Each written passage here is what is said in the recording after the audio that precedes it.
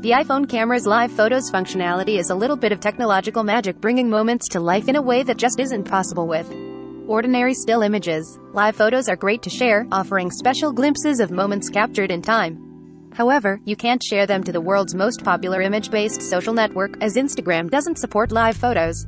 Never fear, there's a here's how to share live photos to Instagram. Apple iPhones Live Photo functionality. With live photos, your iPhone will record what happens 1.5 seconds before and 1.5 seconds after you've taken a picture. You take a live photo the same way you take a traditional photo. You just need to ensure you have the live photo setting turned on in order to capture this kind of an image. When you're in your iPhone's camera app, look to the top right of your screen to make sure the live photos icon does not have a line through it. If it does press it, and the line should go away. How to post a live photo on Instagram. The workaround to post live photos to Instagram is to post the image as a boomerang. An Instagram boomerang takes a burst of photos and stitches them together into a high-quality mini one-second video that plays forward and backward. For live photos, boomerangs use that single image.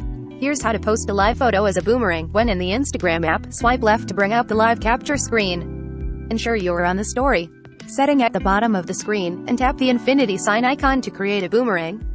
Once you're in the boomerang creation screen, tap on the camera roll icon at the bottom left of your screen.